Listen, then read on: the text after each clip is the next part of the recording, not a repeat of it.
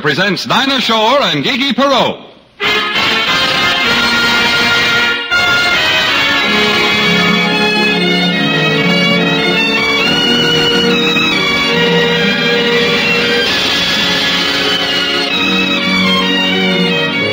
From Hollywood, the Mutual Network, in cooperation with Family Theater Incorporated, brings you Gigi Perreau in Window in the Sky. To introduce the drama, your hostess, Dinah Shore.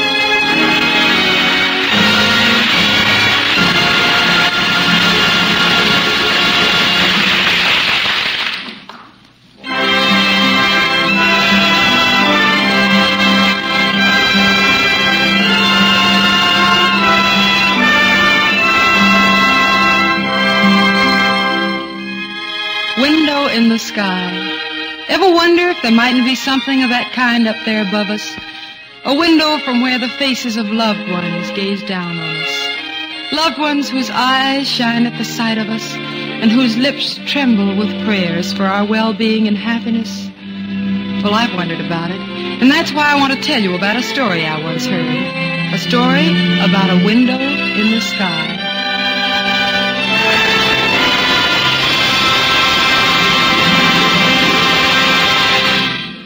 Begins in Nora Robbins' kitchen as she prepares Sunday dinner for her husband Bill and her seven-year-old daughter Celie.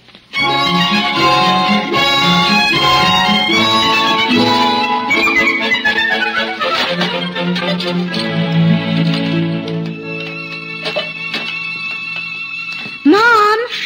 Oh, I was just going to call you to get washed up, darling. Father will be here any minute. Mom?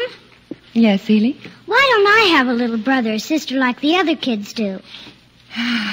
It's a long story, Seeley. Go get washed. I like long stories, and I can always get washed. Seeley, you heard me. Your father will be here any minute. Then I'll ask him. And I'll let you if he's late to dinner. In the meantime, Seeley, just realize, please, that little brothers and sisters are expensive. No, we aren't poor. It isn't convenient right now. You mean you have to buy them? Well, it amounts to that. Then where did Mrs. Mangini to get the get the money to buy all she has? And Rosa says there's another one ordered. I don't know. And the Mangini kids have twice as much fun as I do. They've even got an orchestra. Now, Seeley, if you think You I... don't have to have an orchestra, Mom. But if I just had one little brother. He wouldn't be old enough to play with you. Yes, he could. I could play mother and and he could get on the basketball team like Nick Mangini. And I could cut his picture out of the paper like Rosa. Please, please, Seeley. Mm-mm. I smell meat. Is dinner ready? You see, Seeley, what little boys grow up to be? Was Daddy really a little boy once? Yes, dear. And he remained one. How was your game, Bill? Oh, rotten, ma cherie. Jenkins beat me on the last hole for five bucks. Oh, Seeley, learn anything in Sunday school? Yes, Daddy. I learned that I want a little brother. Yeah, that's helpful. What course are they teaching in Sunday school these days? Not the golf course, thank goodness. Go wash and take Seeley with you. Daddy, what is five bucks? Uh, five dollars, honey. Why? You see, Mommy, that could have been a down payment on my little brother. Uh, what? This strange child of yours is haranguing me for a little brother. oh.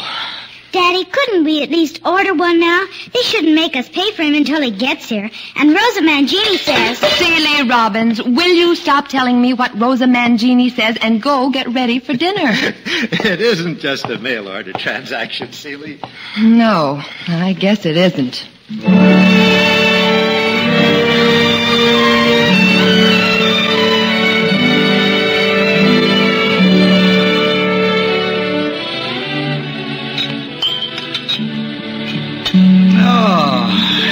Anyway, Nora, darling, you can still cook. I just threw it together. Can I be excused now, Mommy? Yes, dear. But don't leave the house. It's getting dark. But I wanted to talk with Rosa Mangini. Don't look at our daughter that way. It's no laughing matter.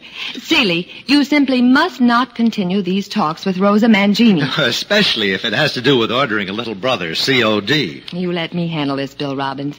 It's more important you get your history lesson, Seeley. Tomorrow's school, remember? I've already gotten it. I know all about George Washington, Abraham Lincoln, and, and, And what? uh, a nice man by the name of Book. Book, well, I think it was Bookie. Bookie? Not the one you know, dear. Was it Booker, Seeley? Yes, Booker. Booker. But yes, old Princeton 39. Booker T. Washington. That's him. Oh, sure, that great Negro. Uh, Not shortstop, educator. Quit leaping into my mouth and dragging out words. I was afraid they were choking you.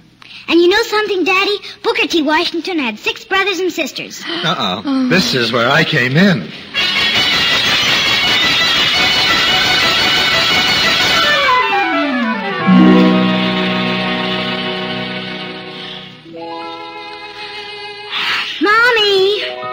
Mommy, turn off your light, dear? I've already said my prayers, Mommy. I didn't wait for you. That's all right, dear. You know why? I wanted to pray for a little brother, and I didn't think you'd let me. Oh. Oh, Seeley. Don't make Mommy feel bad. Kiss your old mother. I love you, Mommy.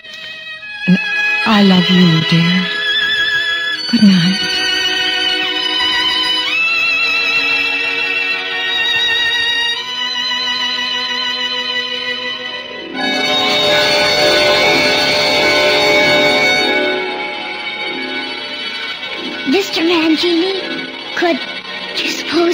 Me a baby brother cheap?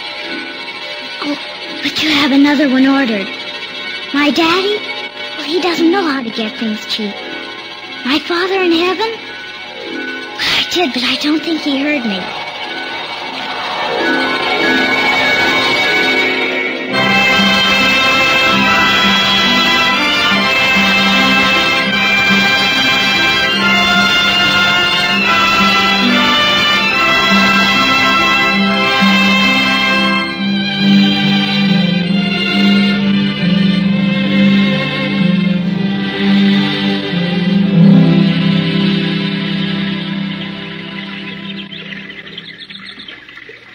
Wake up, little girl. Huh? I said wake up. You might catch a cold sleeping on that grass. Oh, what? Where am I? Well, now that depends upon the point of view. It's a park. The most beautiful park I ever saw. Those fountains and birds and soft golden lights over everything. It is nice at that. I was sleeping in my bed. How did I get here? Well, miss, I really don't know. Who are you? Name's Washington, miss. You're not George Washington. No, Booker. Booker T. Washington? Yes, Why, I know you. You've got six brothers and sisters. guess that's about right. And you? Wait a minute. If you're Booker T. Washington, you're dead. Am I now? You have to be. I read it in my history book at school. Well, I can't say I'm opposed to books and schooling. So let's just say that when the folks weren't looking, old Booker slipped out of his shell and skedaddled away. Like bugs do? Yes, like those old darn needles and flying bugs. You've seen their shells lying around. Oh, yes, but What's the matter, honey? if you slipped out of your shell, I must have slipped out of mine too, or I wouldn't be here. Well, now let's not be too sure about that until we find out. There might be a mistake. What's your name, child? Seeley Robbins. Hmm. Now, I don't recall seeing your name on today's list. I'll tell you what. What, Mr. Washington? I haven't time to take you over to the office right now. I have an appointment with a couple of friends of mine. You'd better come along with me, and later I'll find out why you're here. Okay. Mr. Washington, Yes, Seeley? do you mind if I take my shoes off and go barefooted? The grass is so Why, nice and... certainly, child. Come along.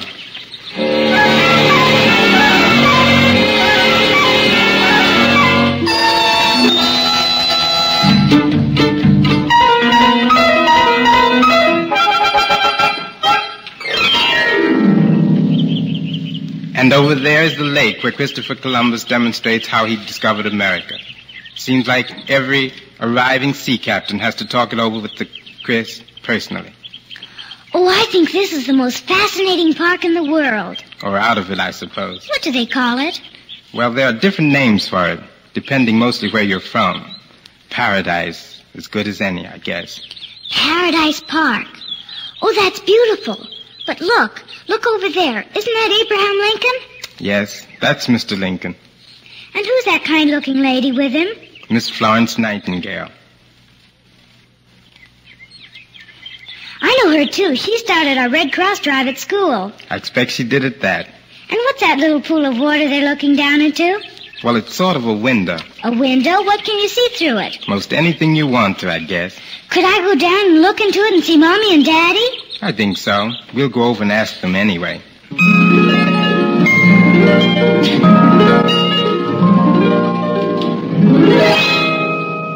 Hello, Booker. Come on over. We've been waiting for you. Sounds like we have a heavy schedule for today, Mr. Lincoln. Mm-hmm. Well, tolerable. Well, now, who is this sweet little miss you have with you, Booker? This is Miss Seeley Robbins. Seeley, meet Miss Florence Nightingale. How do you do, Seeley? Fine, thank you, Miss Nightingale. And this gentleman, Seeley, is Mr. Abraham Lincoln. Hello, Seeley. Nice to have you with us. That's what I want to speak to you about, Mr. Lincoln. I don't recall seeing her name on today's list. Well, no, Booker, it wasn't. But I... Robbins. Robbins, Robbins, Robbins. Uh, Florence, would you hand me that book? The book of, uh, let me see, 19 and uh, 67. That's the one. Let's see now. P, Q, R, yeah, Robbins. Say, this is serious, Booker. Here, take a look. Hmm. William Everett Robbins. Yes, this is serious. Did my daddy do something wrong? Not yet, child. Here, let's take a look through the window. I want to know more about this.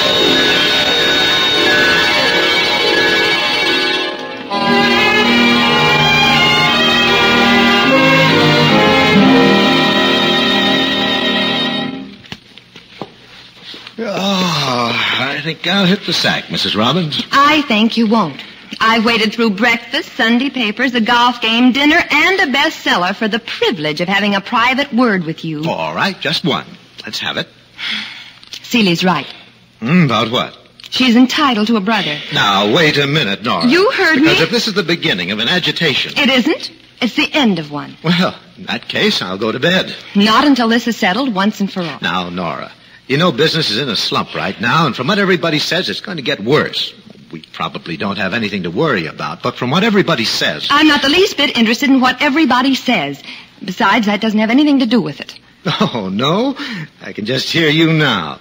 Baby needs new shoes. Baby needs a new bed. Send for the doctor. Ba- baby's got croup. Don't you mimic me, Bill Robbins. and, and don't leave yourself wide open by pursuing this matter any further.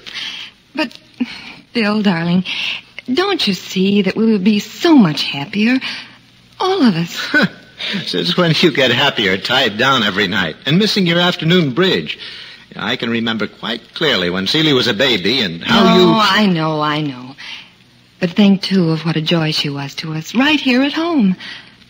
Oh, dear. Now, look here, Please. Nora, it was your decision more than mine that Celie was enough. Or don't you care to recall that? Yes, I know, honey. But I was wrong then. I realize that now. And you're wrong again.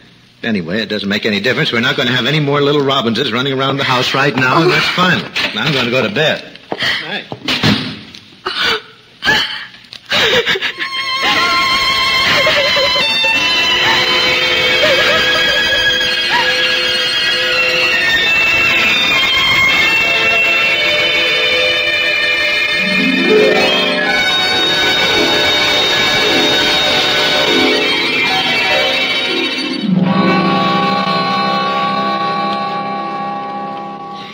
Don't be discouraged by what you saw and heard down there, dear. No, Miss Seeley. Your mother and father just having a little domestic civil war. Mr. Lincoln here can tell you civil wars generally come out all right in the end, don't they, Mr. Lincoln?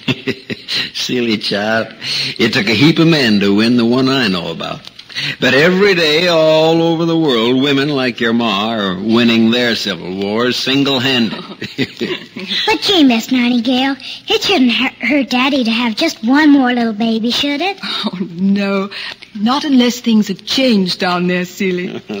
Anyway, this is the best television set I've ever seen. Can we turn it on again? well, now, we'd better let your ma and pa sort of cool oh, off. I don't want to see them when they're quarreling.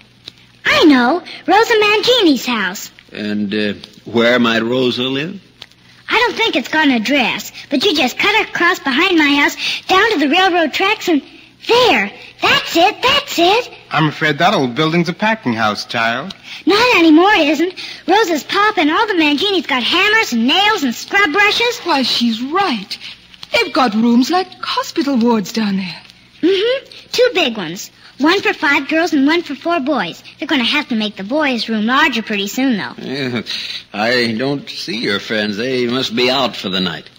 No, they're in the basement. Can't you make that a little stronger? Well, uh, see. Now you see them, don't you? Well, I see something. Looks like a bunch of Mexican hopping beans down there. That's their orchestra. They're practicing. Oh, why can't we hear them? It'll be floating up in the jiffy, miss.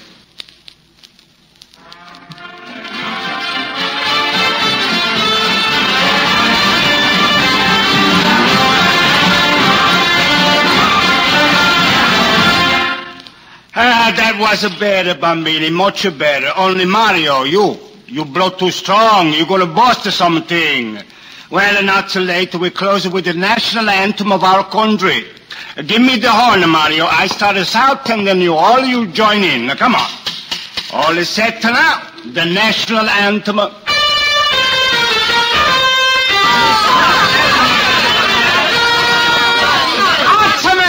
the matter here? It's not the national anthem now. What's the matter? They, oh. they changed? Well, anyway, that's so good. Come on, we play again. Oh, oh. Shut up and play. Hey, All right now. One, two, and three.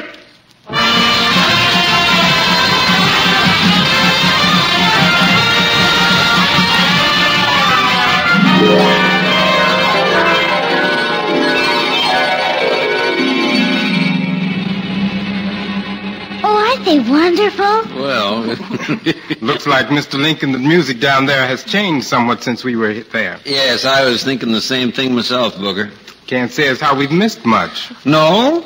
No, as a matter of fact, I'm beginning to get a new slant on that visit I made to Ford's Theater. You mean maybe? I mean, the good Lord moves in strange ways sometimes to protect us. What are they talking about, Miss Nightingale? Oh, well, you see these men, they, they must have their little jokes, Seeley. But didn't you like the Mangini's music? Well, I... Oh, but I forgot. You wouldn't understand. You're English. I mean, they don't have that kind of music over in England, do they? Well, I, I don't know, Seeley, but forget about my being English. There are no English up here. Are they that bad? no, Seeley. It's just that there, there are no English. No Americans, no Germans, no Italians.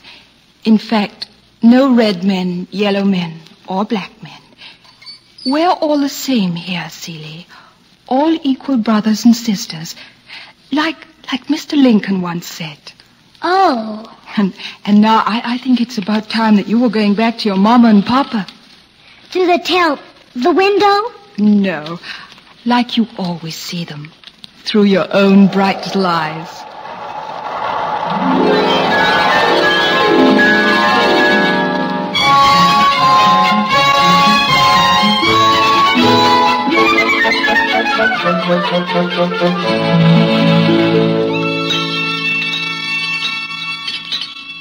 More coffee? Mm, no, thanks. Gotta run. I wonder what's keeping that child. She'll be late for school. Oh, let her sleep. Be good for her. What was that? Cecily, probably. What? Bill, somebody's chasing Seeley. What? Daddy, Daddy, Daddy, I've got a wonderful story for you. I was away last night up in the sky with Abraham Lincoln, Booker T. Washington, and Florence Nightingale. And we were talking and looking down through a window at you and Mommy quarreling. And the Mangini's practicing with their Grab her, orchestra. Bill. She's in a delirium. I'm not, Mommy. Oh, I'm not. Cecily, stop this instant. Get her to bed while I call the doctor. All right, now, now, up with you, darling. Daddy's... No, Daddy, no, Daddy. Stop, stop. You've got to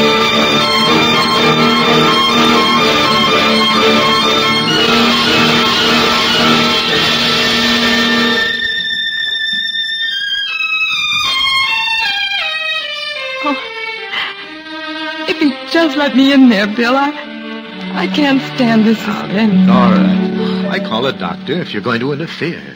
Oh, Bill, it's brain fever. I, I know it is. Hush, don't be that way. Kid's had a bad dream is all. She'll snap out of it. I think he's coming. You can come in now. She's sleeping. What is it, Doctor? What's the matter with Seeley? Well, uh, quite truthfully, Nora, I don't know. He does have a fever. And her mind is inclined to wander at times. Is it serious? That's just it, Bill. As yet, I don't know. Nora, has anything happened that might have upset her? Well, I don't think so. Unless. Well, she has been kind of. Well, what is it, Nora? Well, she, she's been running around and hollering for a baby brother. And what did you tell her? Oh, we. Well, I told her no, that it was impossible at the present time. To a child, nothing is impossible. I think we'd better discuss this further, Bill. Let's go in the other room and let Seeley sleep.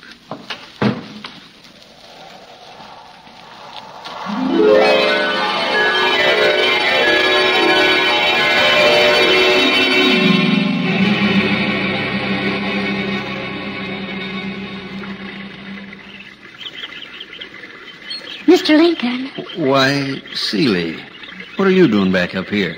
Oh, Mr. Lincoln, I did what he told me to do, but my daddy won't believe me. And he said that I couldn't have a little brother. Oh, Mr. Lincoln, I just don't know what to do now. Seeley, darling, come here. Oh, Miss Nightingale. No, no, Seeley. Don't cry anymore, dear. Seeley, child, what happened? Booker? Booker, this is getting serious. You gotta try and do something. I know, let's take a look down there and see what's going on in that Robbins household anyhow. Let me see now.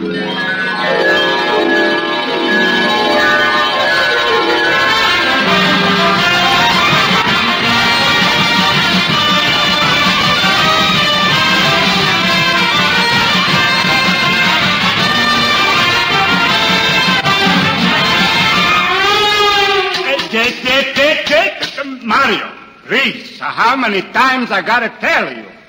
Mario, you blow too strong. And sometime you're gonna bust something and you can't fix no more. Now, Reese, we try once more. Everybody ready? One, two, three.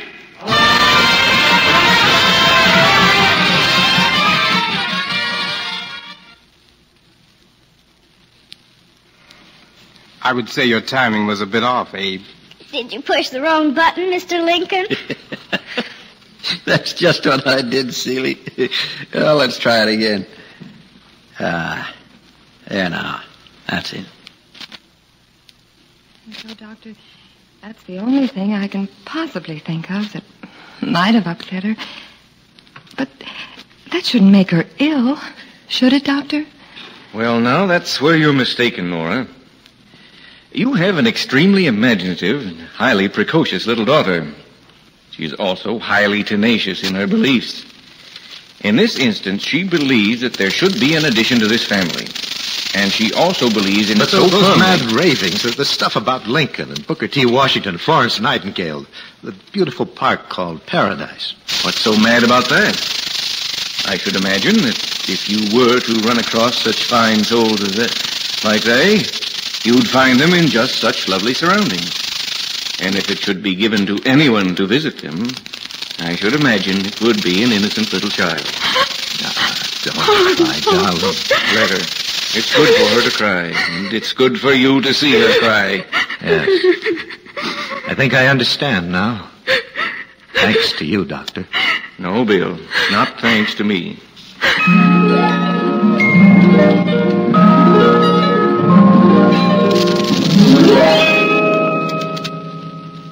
Well, Abe, I guess we don't have to do anything about it after all. No, Booker. No, I, I think it's been done for us. Funny how stubborn a man can get sometimes, isn't it? Well, you should certainly know about that.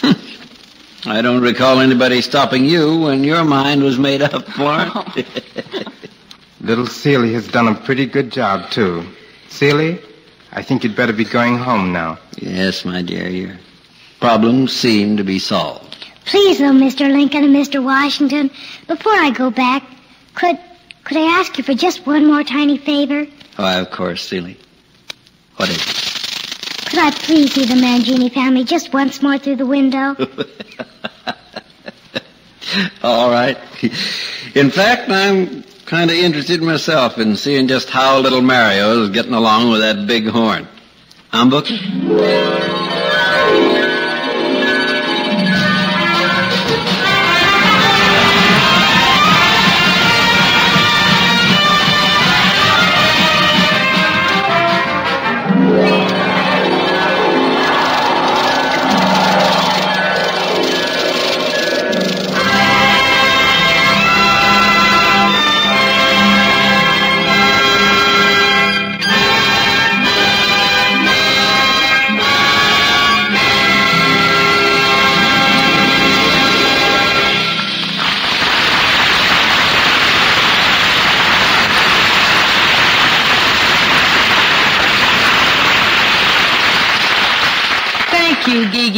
For your fine performance in Family Theater's presentation of The Window in the Sky. You know, many of our Family Theater listeners have written to us to tell us that they've begun the practice of daily family prayer in their own homes. It's certainly heartwarming to know that our little message is being heard and followed by people all over the country. But occasionally someone writes to tell us that prayer is not as easy as it sounds, that it's difficult to pray. Well, I'd like to read a little poem that may be of help to you if you feel that way too. It was written by James J. Metcalfe, and it's called Time to Pray. It is not difficult to pray when we are faced with fears or when the shadows climb the walls and tragedy appears. Our voices rise above the roar of every raging sea, and words of sudden eloquence present our tearful plea. But when there is no storm and when we have a perfect day, we seldom turn our thoughts to God or, or take the time to pray. And if it is a duty then, it also is a task to thank Him or to let Him know the miracles we ask. And yet a daily prayer to God is such a little thing compared to all the comfort and the blessing it can bring. Thank you for being with us. And remember, the family that prays together stays together. More things are wrought by prayer than this world dreams of.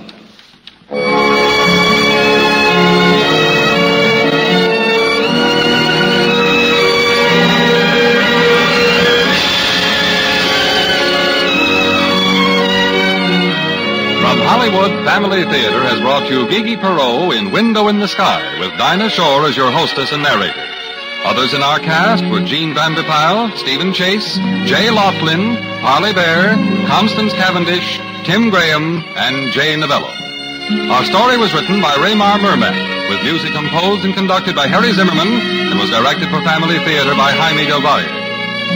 This series of family theater broadcasts is made possible by the thousands of you who felt the need for this type of program, by the Mutual Network which has responded to this need, and by the hundreds of stars of stage, screen, and radio who have so unselfishly given of their time and talent to appear on our family theater stage. This is Gene Baker inviting you to be with us next week at this time when your family theater will present Maureen O'Sullivan and Gene Raymond in the love story of Elizabeth Barrett and Robert Browning with James Gleason as your host. Join us, won't you?